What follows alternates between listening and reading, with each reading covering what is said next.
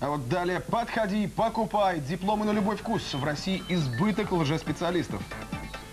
Цены стартуют с 15 тысяч рублей. За такую сумму можно получить диплом о среднеспециальном образовании. Чтобы приобрести статус выпускника высшего учебного заведения, придется выложить уже 25-50 тысяч.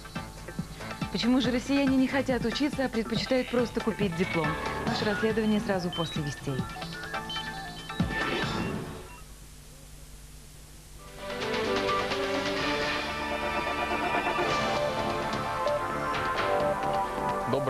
Утро. В студии Олег Танканок. В дни 65-летия Победы ветераны смогут бесплатно ездить по территории России. Кроме того, фронтовики и труженики тыла получат выплаты до 5000 рублей. Подготовку к празднику и проблему ветеранов Дмитрий Медведев обсудил на видеоконференции с руководителями регионов. Президент потребовал без проволочек решать все бытовые проблемы ветеранов. С подробностями наш обозреватель Евгений Рожков. На видеосвязи с президентом губернаторы областей, полпреды и ключевые министры. Все, от кого зависит, как и когда получат обещанное ветераны Великой Отечественной войны. Начиная с квартир. Государство выделило на них деньги, регионы обязаны предоставить. Обращаю внимание руководителей субъектов федерации, предоставлять жилье нужно без бюрократических проволочек, без проведения каких-либо бессмысленных процедур, естественно, строго в рамках закона. Э, с учетом постановки ветерана на учет.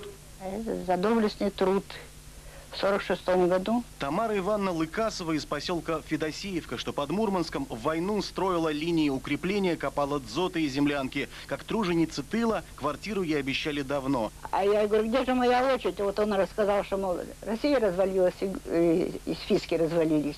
Проблемой Тамары Ивановны, судя по всему, теперь займется губернатор Мурманской области. Дмитрий Медведев обращается ко всем руководителям территории. Те, кто стоял на очереди до 2005 года, должны получить жилье до 9 мая. Те, кто встал позже, в течение года. Но обиженным не должен остаться ни один ветеран. Мною подписан указ о единовременной выплате к празднику Победы. Эти выплаты получат все ветераны войны, семьи погибших, бывшие узники фашистских концлагерей и труженики тыла. Дополнительно к пенсии до 5000 рублей. И еще все ветераны смогут отметить 65-летие Победы там, где посчитают нужным. Регионы и государства обязуются доставить ветеранов на место празднования любым необходимым транспортом. Евгений Рожков, Вести. Саяно-Шушинская ГЭС вновь вырабатывает электроэнергию. Впервые после аварии запущен восстановленный гидроагрегат. До конца года планируется отремонтировать еще три, после чего ГЭС сможет вырабатывать 2500 мегаватт энергии. Это половина того, что станция давала до августа прошлого года. На церемонии запуска присутствовал Владимир Путин. Премьер лично проинспектировал ремонтные работы. Еще несколько месяцев назад многие сомневались, что станцию вообще можно восстановить, а число задач, которые предстояло решить, исчислялось сотнями. Хочу сегодня констатировать, все эти задачи решены. Мы совсем с этим справились.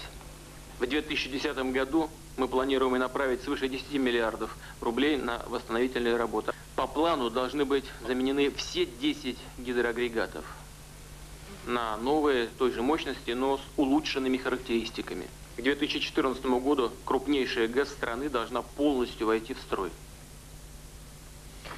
Новости из Ванкувера. 12-й игровой день Олимпиады обещает быть насыщенным на медали. Будет разыграно 6 комплектов наград. Для наших болельщиков, несомненно, главным событием станет матч четвертьфинала по хоккею между сборными России и Канады. Игру уже называют досрочным финалом. Именно эти сборные на протяжении последних лет разыгрывают между собой звание лучших в мире. Поборются за медали и наши лыжники. В мужской эстафете 4 по 10 от сборной России на трассу выйдут Александр Легков, Максим Валикжанин, Николай Панкратов и Петр Седов. На этой Олимпиаде у них пока нет наград, но желание выиграть очень велико. Напомню, лыжники принесли нашей сборной на, на этой Олимпиаде 4 медали из 13, в том числе и одну золотую. Виктор Янукович сегодня официально вступит в должность президента Украины. Инаугурация начнется в 11 часов по московскому времени в Верховной Раде. Ожидается, что в церемонии примут участие около 100 иностранных делегаций. Российскую возглавит председатель Госдумы Борис Грызлов. Кроме того, по приглашению избранного президента на Украину прибыл патриарх Кирилл. Перед инаугурацией глава Русской Православной Церкви, митрополит Киевский и всея Украины Владимир совершат торжественный молебен в Киево-Печерской лавре. Неожиданно быстро завершился скандал с главой лютеранской церкви Германии. Женщина подала в отставку после того, как ее поймали пьяной за рулем. 51-летняя Маргот Кесман заявила об уходе на специальной пресс-конференции. Она подчеркнула, что готова отвечать за случившееся и отказывается от всех своих постов, в том числе и от звания епископа Ганноверского. Полиция задержала Кесман после того, как она проехала на красный свет. Тест показал наличие в крови епископа недопустимых полторы промилле алкоголя. Это равно бутылке вина. На этом все. Следующий выпуск менее чем через полчаса. До встречи.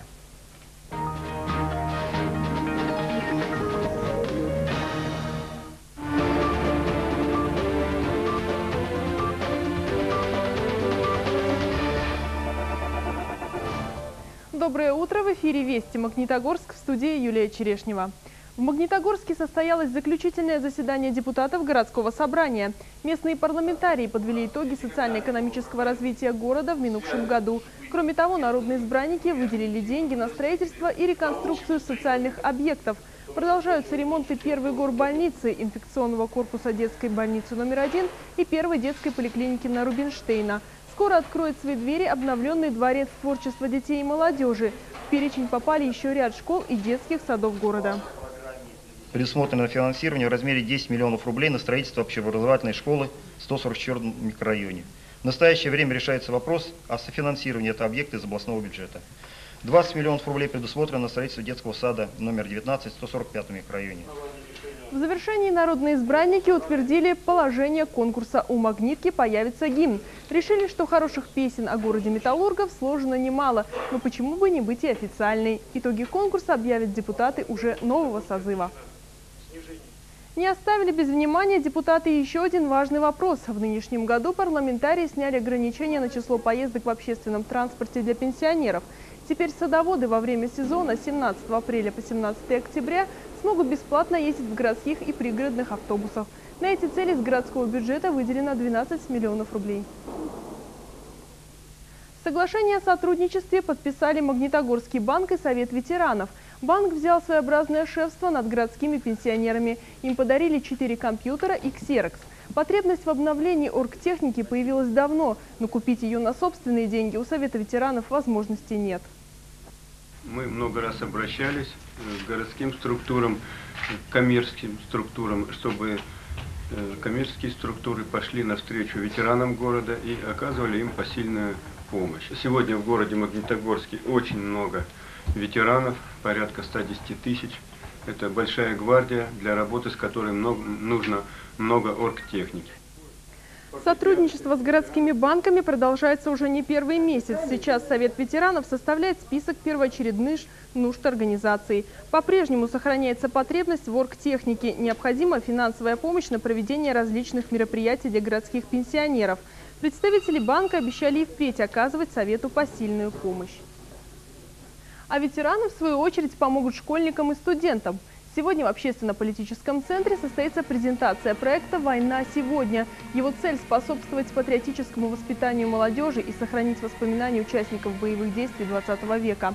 А у начинающих журналистов появится возможность опубликовать свои работы о подвиге соотечественников. Заместителю директора Дворца культуры имени Серго Орджоникидзе Валентине Васехе присвоено звание «Заслуженный работник культуры» за заслуги в области культуры и многолетнюю плодотворную работу. Указ подписал президент Дмитрий Медведев. Валентина Васильевна трудится во дворце почти 25 лет. Начинала с должности ведущей, прошла все ступени карьерной лестницы. Сейчас она художественный руководитель и заместитель директора в одном лице. Пока Сергей Федоров в составе сборной продолжает борьбу за медали на Олимпиаде, магнитогорские хоккеисты успели отдохнуть и потренироваться в Эмиратах. А сегодня и завтра «Металлург» проведет товарищеские встречи с «Трактором» и «Борисом». Сегодня на ледовой арене сразятся гости, а завтра клюшки скрестят хозяева с командой из Астаны. Напомню, последние матчи регулярного чемпионата для магнитогорских хоккеистов стартуют 3 марта в Череповце. На очереди информация Центральной диспетчерской службы. С 9 до 16 прекращается подача горячей воды по Карла Маркса, Первомайской, Ленина. С 9 до 17 не будет холодной воды в ряде домов по Советской, Пархоменко, Синявина.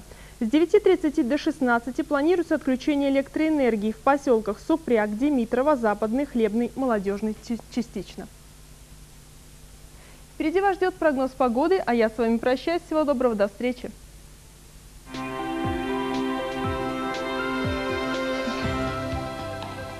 Сегодня синоптики обещают в Шампинуазе 20 мороза. В Кизильском до 19 ниже нуля. В Верхнеуральске минус 18. В Магнитогорске облачно до 17 ниже нуля.